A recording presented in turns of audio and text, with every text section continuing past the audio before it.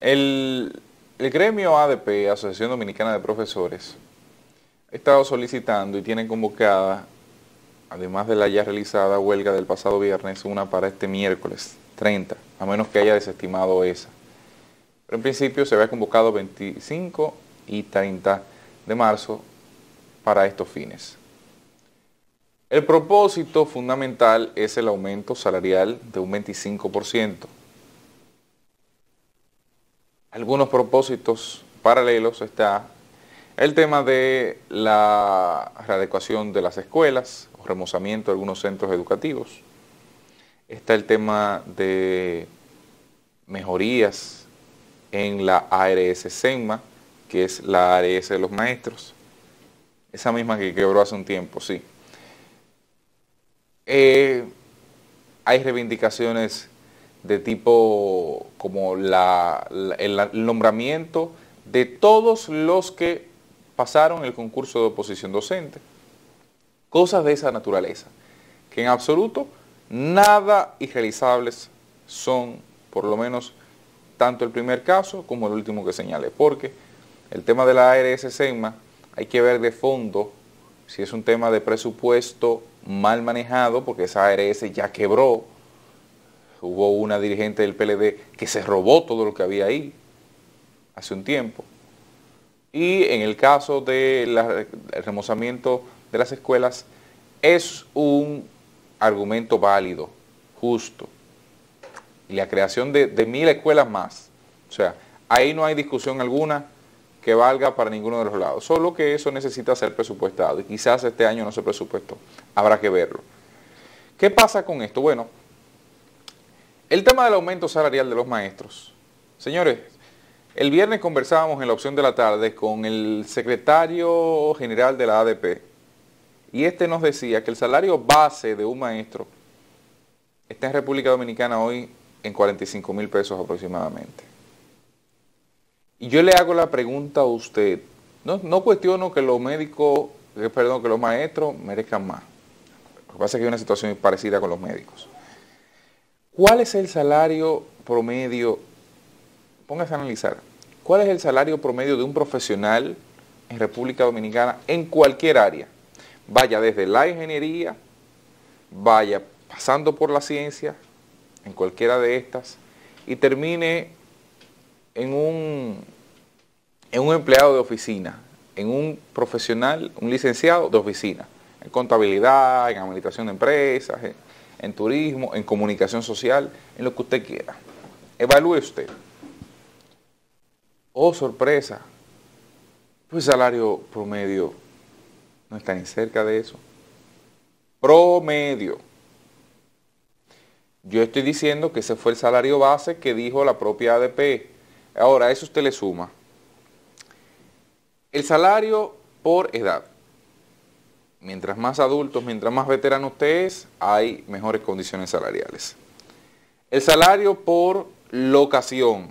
Hay zonas que tienen mejores salarios que otras. El salario por recinto, dígase, los politécnicos no ganan igual, o los profesores de politécnicos no ganan igual que los profesores de escuelas normales. A eso póngale la compensación o el salario por grado educativo. Si usted tiene una maestría o un doctorado, una especialidad, tiene un mayor pago que aquel que no la tiene. Solo convalida educación y tarda un tiempo y se lo paga. Estamos hablando de cuatro aspectos ahí. Habrán otros más que no lo tengo en la memoria. Y le digo yo a usted, es justo, evaluando el contexto social, y el propio contexto económico del resto de las profesiones. Olvídese del contexto económico actual de, que si la guerra de Ucrania, que si el COVID, no, no, no. Yo me voy un poco más allá. Porque los salarios en las sociedades se evalúan sobre todo por el mercado, ¿verdad? Es justo un reclamo de esa naturaleza y en la forma en que lo ejecuta la ADP, me parece que no. Y sobre todo cuando esta tiene, este tiene un matiz fundamentalmente político. Instrumentalizan una institución como esa para fines políticos. Y lo digo partiendo de la declaración que ofreció el director o el presidente de la regional de Higüey. Decía, no llevamos a Melanio, no llevamos a, Josefina, nos llevamos a Navarro, nos llevamos a, a Carlos Amarante Baret y algún otro que se me haya quedado en el camino. Porque nosotros quitamos y ponemos ministros. Pero por Dios, eso les resta a la lucha que llevan. Que para mí no es justa, pero quizás para otros sí lo sea. Sobre todo porque yo entiendo que debe haber una proporcionalidad del salario respecto al mercado. Y cuando usted tiene aquí profesores que te piensan con, con faltas ortofónicas y ortográficas, te lo piensan antes de escribirlo, así. Entonces usted tiene serios problemas educativos. Entonces, la ADP no puede seguir siendo piedra de tropiezo para la educación dominicana, como no pueden seguir siéndolo otras instituciones. Pero en este momento me refiero a la ADP porque es propiamente la que ha llevado esta lucha. Que pueden luchar sin lugar a dudas. Es un derecho constitucional y nadie puede quitárselo. ¿Que pueden hacerlo en la forma en que lo hacen? No. Hay una sentencia incluso del Tribunal Constitucional en ese sentido que plantea la no ausencia de las aulas como método de lucha.